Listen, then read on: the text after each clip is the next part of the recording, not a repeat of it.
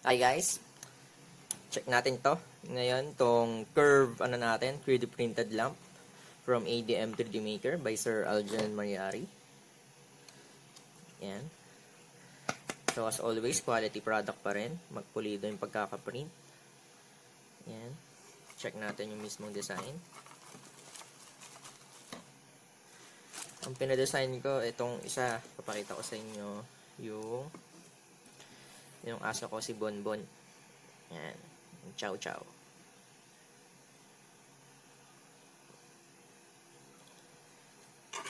Check nyo yung ano, ilalagay ko lahat ng link sa ano sa description para mabisita nyo yung page nyo tsaka ma-message nyo siya kung anong ibibig, uh, ipapa-customize yung pink. Magsasend lang kayo ng simple JPEG na ano, na file or picture.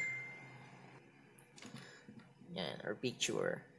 Tapos siya na bahalang mag ano, mag-print into 3D printer. Yan. Tapos ano pang kasama sa ano? So ito.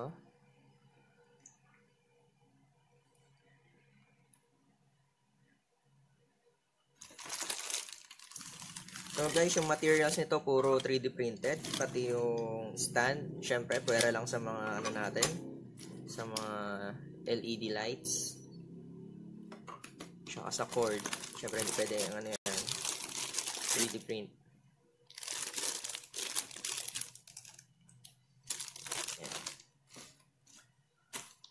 So, pakita ko muna sa inyo paano yung ano, assembly. Ito muna yung mga ma-receive nyo. So, tigil dalawa kasi ito kasi dalawa in order ko. Punta muna tayo sa isa.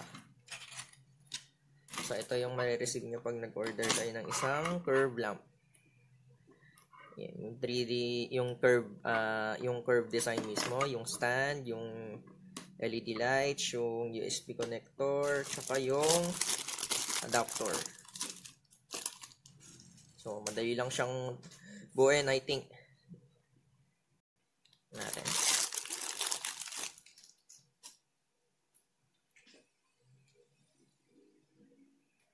Power adapter.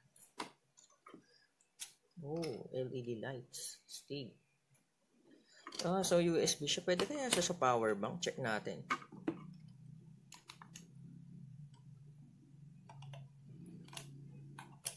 Oh, pwede nga. Ayun, no? Stig. Check muna natin.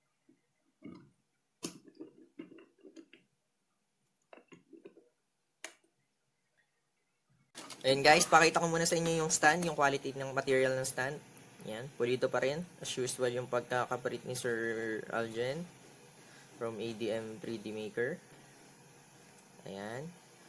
So, napakadali lang ng ano, ng buuin to.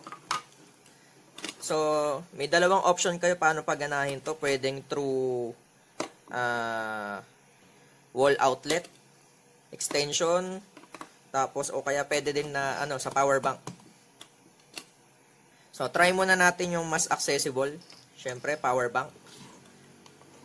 Actually, pwede nyo solohin nga to. Yan, gawin yung flashlight tong, ano, yan, LED lights natin. Napakaliwanag, napakalupit. Tapos, ayan. Ngayon, first step, yung 3D printed, ano natin, plate, or curve plate. Ilalagay nyo dun sa base. Ayan, meron siyang ano dyan makita nyo. Ayan. Parang indention, tapos lalagay nyo dito. Pasok nyo lang. Ayan. So, may may dinig kayong clicking sound. So, ayan. Pakasimpleng setup lang, pero maganda. So, ito may makita kayong butas dito, parang ano, compartment sa likod niya, maliit. Dito nyo ipapasok tong ano, LED, USB LED light natin. Yan. Yung tanggal. Ito natin. Yan. Yan. Dapat nakaharap yung light dito ha. Dun sa ano. Dun sa plate nyo. Then, first ano. Uh, first option para paganahin to. Siyempre, lagay nyo muna tong ano. UX, uh, USB extension natin. Yung female muna. Lagay, ay, lalagay nyo dito. Yan. Yan. Tapos noon, yung USB type A na and lalagay nyo sa ano yung power bank.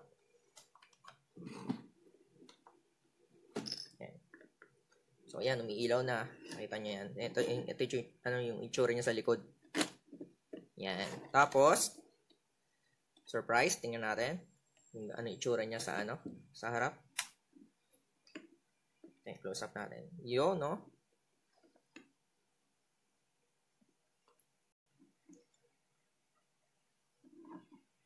Ayan. Ayan guys, ang gandang pagkakagawa.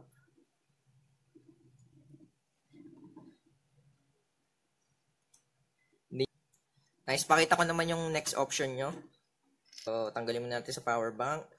Lagay natin dun sa ano, sa adapter. Yan. Tapos, yung kuha kayo ng extension nyo or sa diretso sa power outlet, kailangan nyo lang ng adapter. So, saksak nyo lang. Ipoon. Yan, okay na.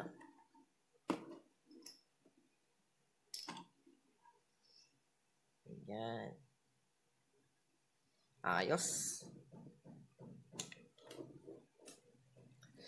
So, yun nga, check nyo na lang yung description. Order na kayo kay Sir Algen dun sa ano, sa 3D uh, ADM 3D Maker. Uh, nasa around ganit uh, 999 yung ganitong ano, ganitong style yung curve lamp. Binigyan lang tayo ni Sir ng ano, ng discount, special discount syempre. so, ayan. Thank you ulit, ADM 3D Maker. So, kung may gusto kayong paghandaan yung Christmas ng maaga, Pasko, ito, personalized, ano, gift, magandang gift to para sa, ano, sa family nyo, sa mahal sa buhay, o para sa sarili nyo lang. Magandang, ano siya, display. Ayan. Check natin ibang design. Pag sa tao naman, check natin itong lovely couple na ito. Ano niya?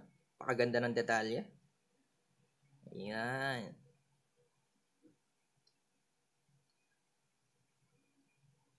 So, ayan guys. Hanap na kayo ng picture yung gustong ipap 3D print kay ano sa EDM 3D Maker para makapag ano na rin kayo. Makakuha na rin kayo ng ganitong curve lamp. Meron pang isang type ng lamp siyang pinitri, uh, piniprint yung box type pero mas gusto ko tong ano curve kasi ano lang siya portable, maliit lang. Tsaka ano maganda. Yan. Nasa sa inyo din yung ano niya, yung box type niya, ano four sides 'yun. Think four sides or pwedeng six sides na ano pwedeng madaming design. So message nyo lang siya dun sa page niya para mapag-usapan nyo kung anong design yung ano gagawin nyo. So, yun guys. Thank you very much ulit sa support. 1,000 plus follows, likes na tayo. Tsaka 45,000 plus views. Thank you, thank you very much.